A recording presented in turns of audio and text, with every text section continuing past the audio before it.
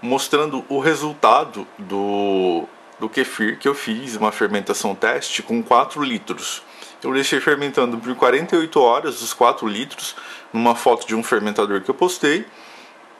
E depois eu engarrafei e adicionei abacaxi para poder dar o sabor.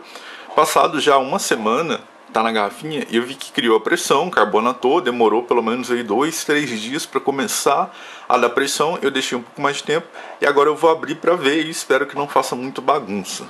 Eu vou colocar aqui na mesa, embora tá a mesa tá bagunçada também, mas vamos ver se como que fica o gás. Ok, deixa eu só subir a câmera.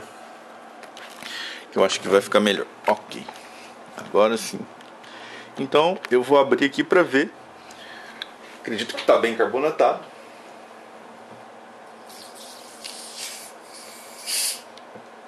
Bom, opa, vai subir espuma. Uhul, subiu o gás.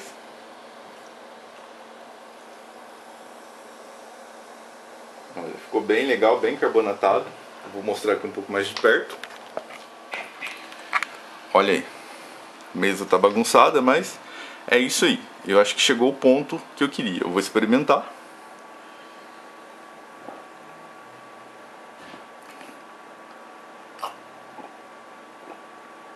Hum. Bom, o abacaxi ele ele fica com gosto de passado. Não sei se é impressão minha ou abacaxi que eu comprei, mas lembra um pouco o abacaxi passado. Ficou bem leve. Eu poderia ter colocado mais alguma coisa no meio para poder dar sabor. Olha, tá soltando gás. Eu poderia ter colocado mais alguma coisa no meio para dar sabor. Ou tentar acertar um pouco mais a receita, mas para um teste de início foi bom. Deu uma carbonatação boa. Não ficou muito forte e nem muito fraco tá aceitável. Eu gostaria de compartilhar esse resultado. Essa semana eu pretendo testar mais algum alguma receita de desse refrigerante ou dessa bebida do kefir com gás, do kefir carbonatado.